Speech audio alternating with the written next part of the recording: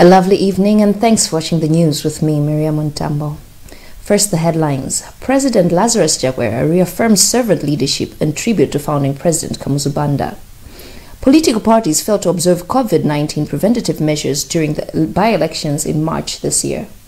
In other news, an eight year old man becomes the center of attraction after marrying his 74 year old fiancée. We have these plus many other stories. Please stay with us.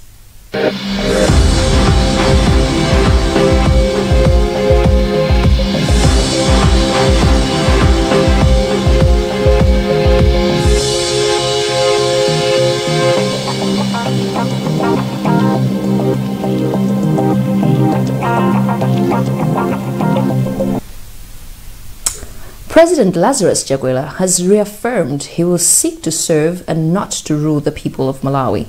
In his speech during commemorations marking this year's Kamuzu Day Memorial in Lilongwe, President Chakwera also said he will only work with people that share the same vision of serving Malawians. Audrey Kapalamula reports from the report in Lilongwe.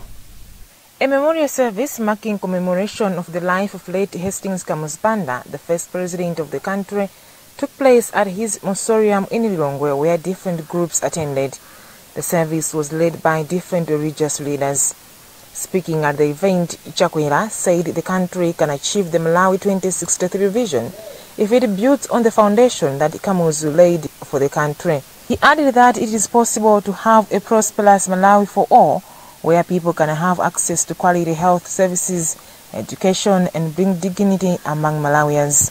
He said as the country's president, his desire is to save the nation. As such, he needs to work with people who share his vision. I am convinced that our nation's founder is the embodiment of a truth we must never allow ourselves to forget. Because he served this nation but we must always be aware of the fact that presidential power is a terrific servant, but a terrible master.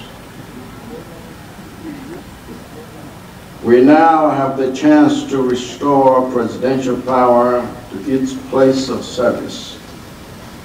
We have a chance to use it to provide health care the way it was once used to build Kamuzu Central Hospital. Family representative Ken Kandodo said, Rest in peace, he conceived this plan of the mausoleum. He, he did uh, include another stage. Uh, the first stage was to build the mausoleum, which he did, and he opened uh, on 14th May of 2006. Uh, but he did say uh, that he wanted to have a museum here where uh, memorabilia or, or things that Kamuzu was using like his motor vehicles, uh, the fly whisk and, and, and, such things to be, to be uh, exhibited here so that people can come and see how Kamuzu was, was like, how he was living, uh, but also to have a, a, museum and a library where people will come and, and learn about Kamuzu. Minister of Tourism, Culture and Wildlife Michael Usi said there are plans to provide the area the necessary infrastructure as requested by Kandodo and that the project will be undertaken once the ministry is adequately resourced. Banda died on 25 November 1997 and every year the country commemorates his life on 14th May. On Friday, St. Michael's and All Angels CCAP Church in Blantyre held Malawi's founding president Hastings Kamuzu Banda. During memorial prayers in honor of Malawi's first president, the church's moderator, Chaplain Stephen, described Banda as a man who dedicated himself to serving God. Jameson Chauluga attended the prayers and now reports. The prayers were held right in the church the late Dr. Banda was congregating. The church's moderator, Chaplain Stevens, says it is Dr. Banda's good deeds which stand out to date, including the church building itself. He says in 1976, when the walls of the church were collapsing, Dr. Banda donated a lot of money to reinforce it. He was a member of this church, St. Michael and the Angels, and above all, he was a church elder of the Church of Scotland. So we thought it is wise to uh, celebrate his life, and in, in addition to that, we remember his good examples the life he lived.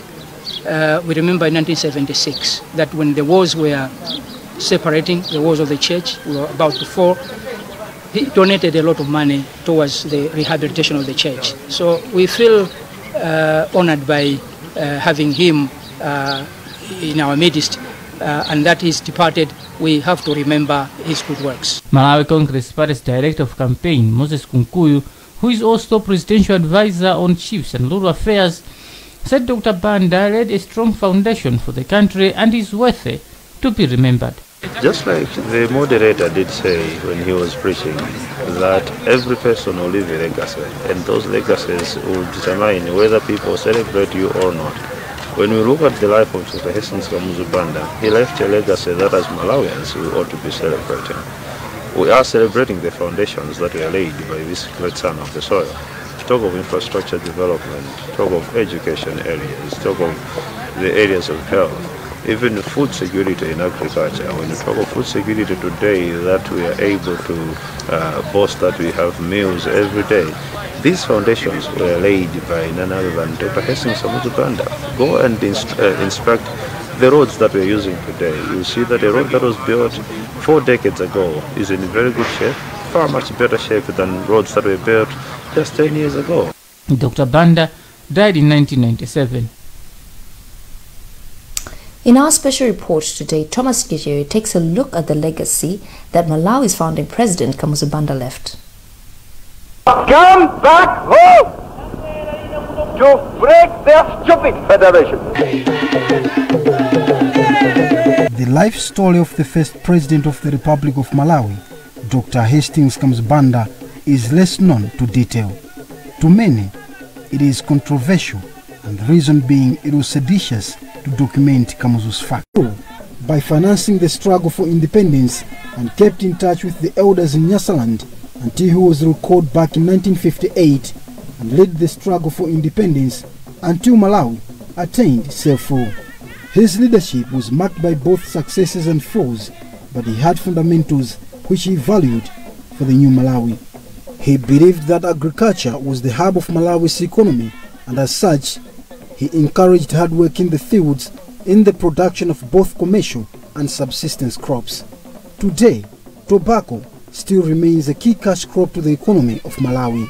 Recalling how he struggled with education, Kamuzu raised the education standards by building not only secondary schools but the University of Malawi and its constituency colleges.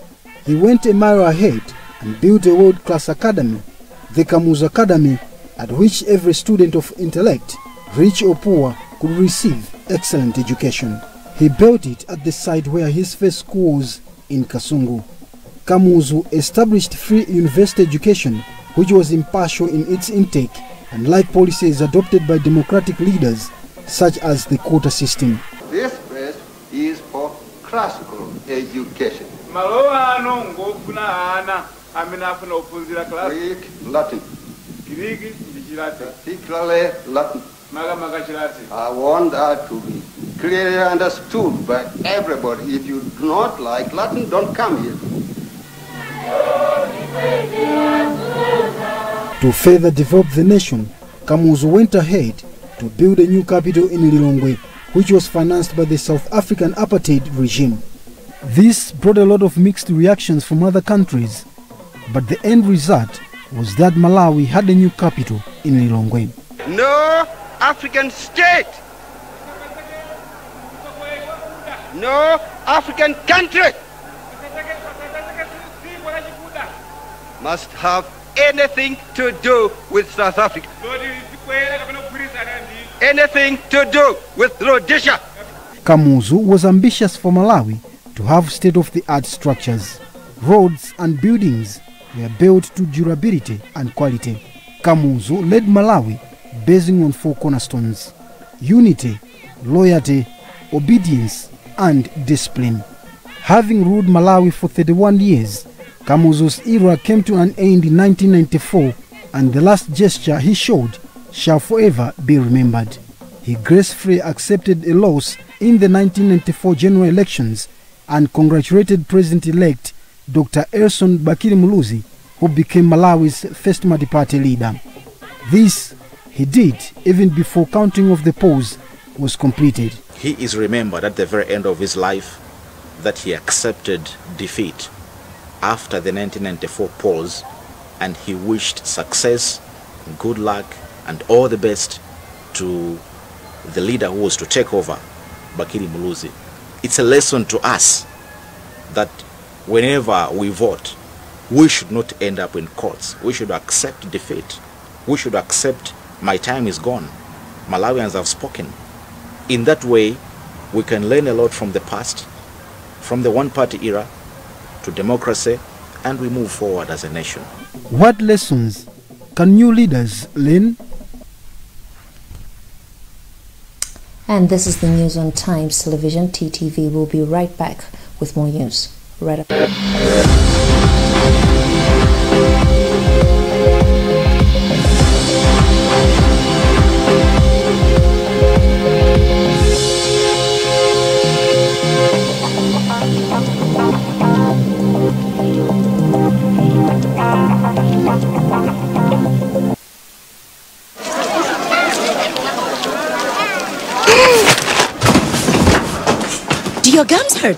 Yeah. Does your toothpaste contain sage, eucalyptus, myrrh, chamomile? All that in one toothpaste? Yes, try Colgate Herbal. Colgate Herbal contains nature's best herbs and Colgate's fluoride technology to give you strong teeth and healthy gums. Ah, Colgate Herbal. Let's go. Colgate Herbal.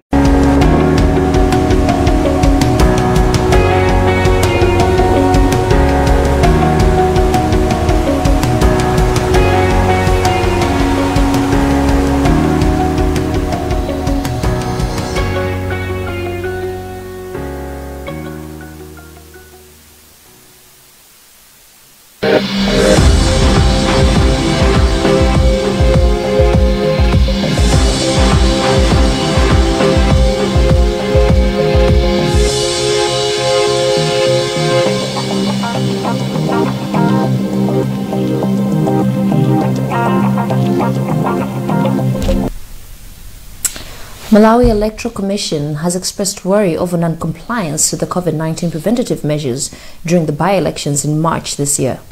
Officials of the commission said this during a review meeting with stakeholders in Doha on Friday.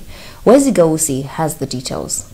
Representatives of various political parties and all election stakeholders were meeting in Doha to review how March 30, 2021 by-elections were conducted. Speaking during the opening of the meeting, make chairperson for Audit Committee, Commissioner Anthony Mukumbwa, who represented the Malawi Electoral Commission MEC chairperson, says the meeting was crucial as they were highlighting a number of issues which they need to do better in future. Mukumbwa says it is worrisome that most political parties did not adhere to COVID-19 preventive measures. You see, in any election, there are issues that emerge, okay, new as well as odd. And uh, it would be naive to move on to the next election without reflecting on what actually happened. And so this meeting is a reflection of what happened, where we did well and where we did wrong, uh, challenges that we faced, and opportunities that we can harness. And so it's very important that um, after an election, we sit down, all stakeholders that manage the election, and be able to honestly reflect on what went wrong, what, went, what we did well, and challenges that we faced. So together, as we go to the next elections, some of those challenges are eliminated, and those um, good things that we did are enhanced. Malawi Congress Party MCP Director of Elections Elias Chakwera says the meeting is crucial as political parties and other stakeholders look at how they performed in the ended by-elections. He says COVID-19 affected their campaign as there were no control measures. It is true that uh, we may not, as political parties, follow the COVID uh, uh, measures during the campaign meetings because campaign is about mobilizing people. So even if you wanted to meet a few people, but I think uh, campaign by its nature, it is uh, uh, something that invites as many people as possible. All political parties that participated in the by-elections, including returning officers, attended the meeting.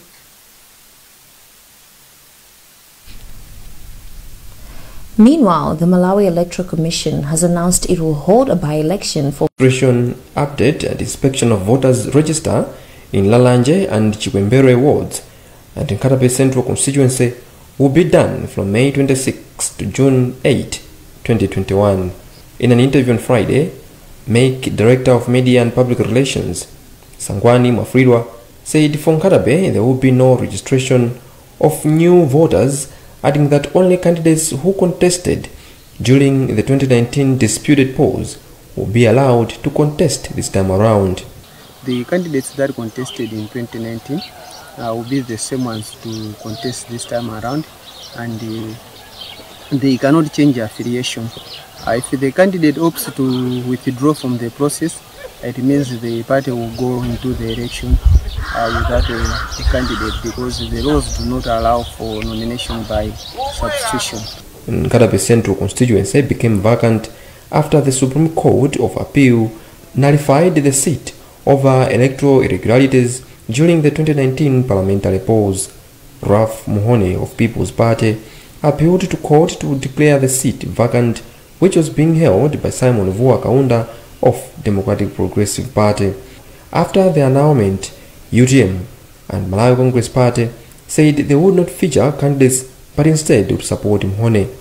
During the 2019 elections, MCP had Jole Nyimba as its candidate while UTM's torchbearer was Justin Banda. This means the June 29 show will be for Vuwa Kaunda and Mhone. In an interview on Friday, Mhone said he is ready for the elections and the support from the Tonse partners entails that they have confidence in him that he is the right candidate. In his reaction, Vuwa Kaunda said he already won the elections clean and square and it will be a walkover this time around.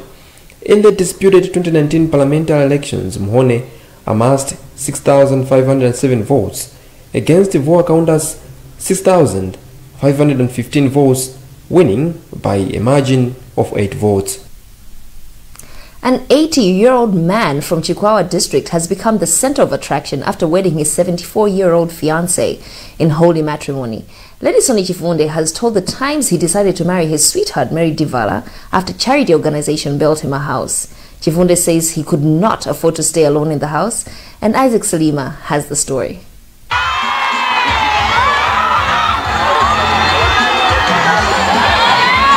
In what would be thought as a scene in a movie, the 80-year-old and 74-year grannies are now husband and wife after tying a knot last Saturday. This was not an anniversary wedding ceremony, but a new marriage. Ngabu Trading Center in Chikwawa was last week brought to a standstill at the two lovebirds exchanged marriage vows. It was started when Ngabu-based Pashero Charitable Trust had rescued the man from the jaws of poverty by building him a house. The man said he could not stay alone in the house and asked the organization to help him find his better half. Speaking from Laposa village in traditional Tholen Gabu, Chivunde said he is happy to have found another love after his first wife died some two decades ago. I am very happy that now I have a good house. I am also a happy person because I now have a wife. moyo wangu ukwenda bwino kuba kapena kukhumudwa mumtima mugopena kuti maganizo ena iya ukwenda bwinobwino Pashero Charitable Trust Executive Director Feria Maloya said they are pleased that their initiative of transforming lives of vulnerable people took this step. I'm so so happy because it's like he he had he was vulnerable, but now he's a happy married man after over 20 years of being a widower. And what I can I can tell you uh, again is that even the lady uh, had the, the same challenges as the man because she has been a widow for also over 20 years. So to make them united and Traders have been using such skills since the government announced the set farmers gate prices. Director General Simon Mandala has since called on farmers to ensure all weighing scales have a certification seal. Patience Lunda reports. Mandala made the remarks Thursday when MBS was awarding certificates to various companies in the northern region. Since government announced the 2021-2022 minimum farm gate prices, Many people have been arrested for defying farm gate prices and for using uncertified weighing scales in districts such as Dowa, Salima and Karonga. like to make sure that uh, the farmers really benefit from their sweat and therefore we are making sure that um, um, those buying produce from farmers must be used It must be using the scales or weighing instruments that have been verified by the Malawi Bureau of Standards. Meanwhile, state-run Agricultural Development and Marketing Corporation, ADMARC, has also started buying farm produce from small-scale farmers nationwide. On her part, MBS board member Joyce Aziz Banda said the Bureau will continue conducting market surveillance to take out all products that are not approved by the Bureau in order to promote fair trade and protect buyers. One of the awardees, Managing Director of Nyalwanga Farms, Cecilia Mseteka, said the certification by MBS is crucial because it assures customers of quality. Getting of this certification means that we have been following all the rules and regulations as laid by Malawi Bureau of Standards. Um, we're really, really happy. MBS has this year awarded certificates to 295 individuals and companies running various kinds of businesses, 100 of which are new registrants. Well, that's all we had for you this evening. But before we go,